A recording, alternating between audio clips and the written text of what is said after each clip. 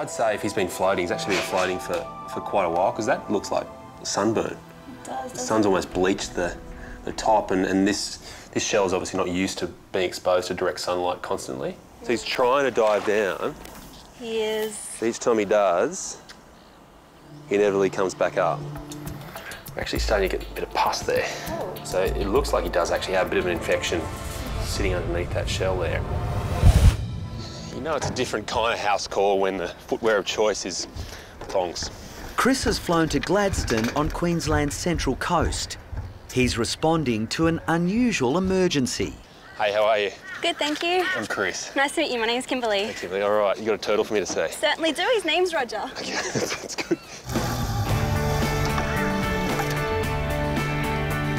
Roger, a seven-year-old green sea turtle, is waiting for Chris at the Quoin Island Rehabilitation Centre. How far out to the island? It's about 15 minutes across the harbour.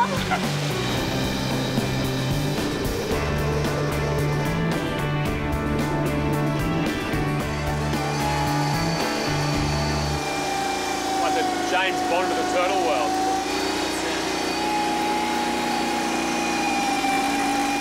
It's quite a ride. All right, which way's Roger? Ah, he's right over here. Is that him struggling at the top there now? That's him. We found him a few days ago. He was floating in the mouth of the Boyne River and he was just of concern as he was floating and unable to dive under the water. Roger is one of a growing number of Australian sea turtles suffering from a devastating condition. Floater disease is a really mysterious issue in turtles right now. We don't truly know what causes it. It's believed to be related back to malnutrition, just not getting enough food and having a weakened immune system, but also it could be caused by a blockage in their gut, causing a gas buildup or infection. So he's trying to dive down. He is. Each time he does, he inevitably comes back up. Because they can't dive, they're unable to get down to the bottom of the water and feed on seagrass or feed on anything in that case. Otherwise, they're just stuck at the top with no food. Unless Chris can find a solution, Roger won't survive.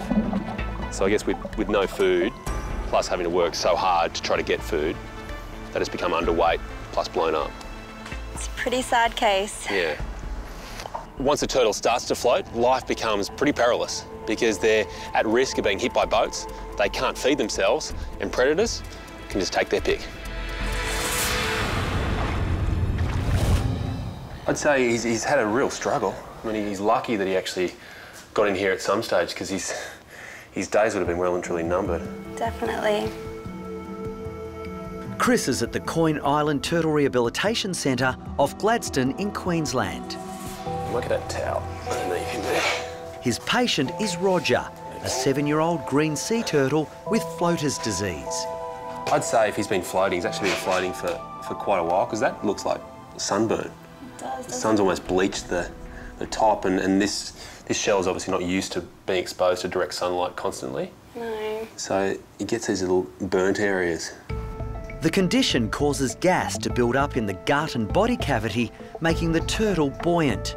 Roger is then unable to dive and feed off the seagrass on the ocean floor, leading to starvation and dehydration. My hope today is to try to give Roger some sort of helping hand. And the best way to do that, it seems, is to take out some of this air to allow him to swim a bit more freely and hopefully then rest and recover. I'm just going to insert this needle now. Okay. Removing air from both sides of Roger's body is crucial for his survival. It's like deflating a lilo at the moment. Okay, now it's stopping. Okay. So that's 240 mils on this side. Wow. So that explains why he has been having trouble swimming around. Chris now needs to extract air from the other side of Roger's body. And quite a bit. So oh, straight away we've got 20 mils. Just keeps on coming.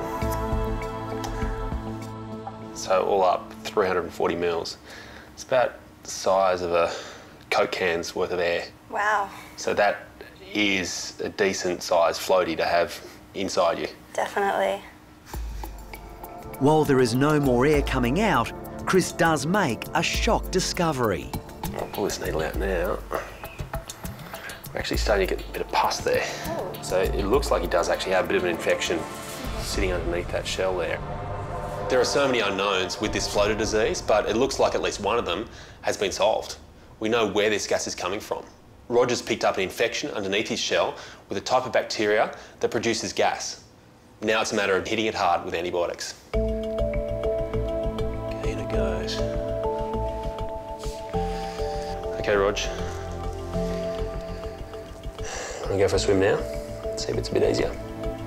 With the underlying infection treated, it's now time to see whether Roger is fit to return to the water. Taking out all that gas, it's got to make swimming a little bit easier for Roger. But whether he's got the strength to really force himself to the bottom, we're about to see. Whew. Like a parent before its child's first swimming lesson.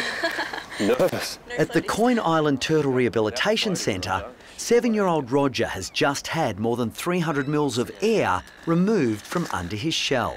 Hopefully, in the nicest possible way, you think His survival now depends on whether he can dive and remain submerged in the water. If he can't, he has no future in the wild. Okay, Rog, aim for the bottom. Take a dive, Roger.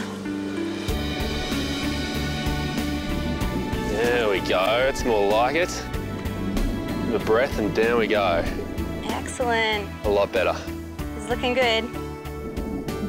When he finally hits the water, the important thing is he's not floating with his back up in the air and also he can stay underwater. It's a big change. It will be several more months of rehabilitation before Roger regains his full strength. But a future in the wild is now possible. The solution to floating turtles is never a quick or an easy one, but at least today we've seen a start. And pretty soon he should be back swimming, not the pool, but in the ocean. And down he goes. Start, huh? Job well done, I believe.